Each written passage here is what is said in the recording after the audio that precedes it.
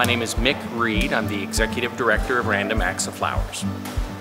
Our purpose is to take flowers that are donated to us, repurpose them into individual bouquets, which we then deliver to individuals in healthcare facilities to give them a moment of kindness and a smile. So we essentially take this perishable product that has a lot of life left to give, and then we give them to those people who need a little emotional pick-me-up.